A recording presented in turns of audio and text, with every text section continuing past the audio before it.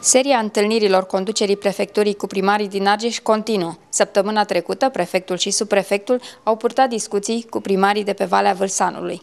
Pentru a afla chiar de la ei de acasă cu ce probleme se confruntă, conducerea prefecturii Argeș a decis în urmă cu o lună de zile să aibă întâlniri cu primarii din județ pe zone. Întâlnirile nu au loc la prefectură, ci în teritoriu. Problema cea mai uh, importantă ridicată de către primarii de pe Valea Râului Vâlsanului a fost amenajarea albiei râului Vâlsan.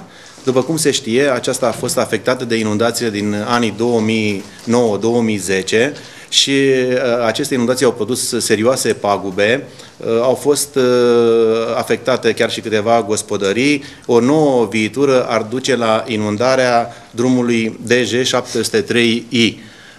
Aici este și o problemă pe Valea Vâlsanului, deoarece ea este rezervație naturală și este, fiind rezervație naturală protejată, intervenția în Albie nu este permisă, însă la solicitarea autorităților locale și în colaborare cu instituția prefectului uh, am reușit să obținem uh, acordul pentru realizarea de lucrări în Albia uh, râurilor, râului, astfel încât, începând din această toamnă, am hotărât împreună cu administrația bazinală Argeș-Vedea demararea lucrărilor de regularizare a râului și de întărire a malurilor. La această întâlnire au participat primarii din comunele Mălureni, Mușătești, Brăduleț, Valea Danului și Valea Iașului.